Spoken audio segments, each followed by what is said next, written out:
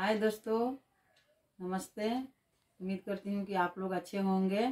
और देखिए, उस दिन मैंने गोभी मंगाए थे बाज़ार से तो मेरा लड़का लेके आया हलूद गोभी। इसका नाम है हलूद गोभी।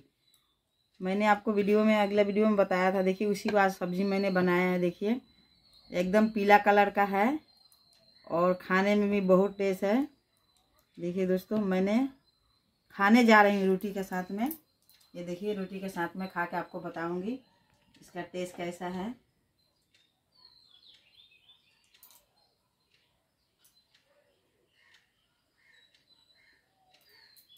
एकदम मस्त है दोस्तों। आप लोग भी लाइएगा। मार्केट में भी मिल रहा है, पीला करके गोभी है। और बनाइएगा सब्ज़ी। जैसे आप लोग गोभी का सब्ज़ी बनाते हैं, उसी तरह से बनाइएगा।